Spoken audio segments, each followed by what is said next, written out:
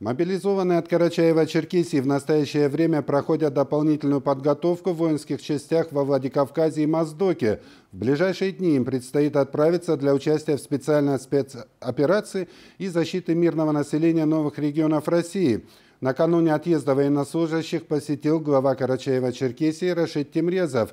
Подробности у Артура Мхце.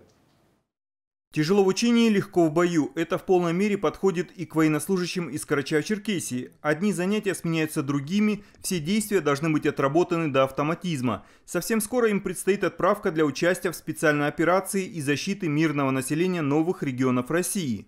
Накануне отъезда воинскую часть Северной Осетии в сопровождении руководителя этого региона Сергея Миняйла посетил глава Карачаева-Черкесии Рашид Тимрезов. С каждой семьей будет связь либо кто с какого села, там, аула, города, все местные э, власти, они будут на контакте. Все, что зависит лично от меня, вот вы считаете, что я это сам лично беру на свой контроль и сам лично буду этими вопросами всеми, которые будут возникать, всем буду заниматься. Это мне с Сергеем Ивановичем сейчас посоветоваться, да, как уже там, куда вы прибудете, как там все, что необходимо и нужно, а, именно для, вот, я говорю, как глава Карачаева-Черкесии, для тех ребят, которые из нашей республики.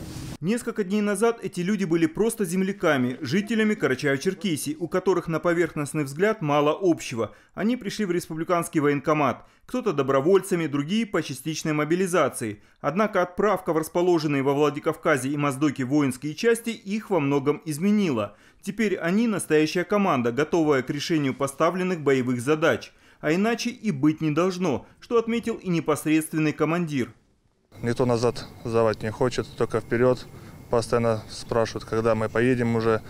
Вот. На занятиях по боевой подготовке управляют все с положительной стороны, стараются как практические навыки, так и теоретические впитать в себя. Что-то, если кого-то не получается, постоянно подходят, спрашивают, просят повторить, если этого необходимо. Так в целом ребята молодцы, дисциплина у них достойная. Ребят стараются научить, кто не знает. Кто что-то подзабыл, стараются подсказать. Товарищество присутствует, конечно же, у нас. Без этого никуда. По вещам? По вещам, по имуществу, по обмундированию все хорошо, все у нас есть.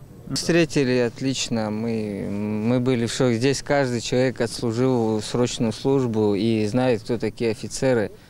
Ну, тут прям было все на высшем просто уровне такие впечатления, очень хорошие воспоминания. Потом уже влились, как говорится, вот все, что в здесь, жизнь. в армейскую жизнь, да.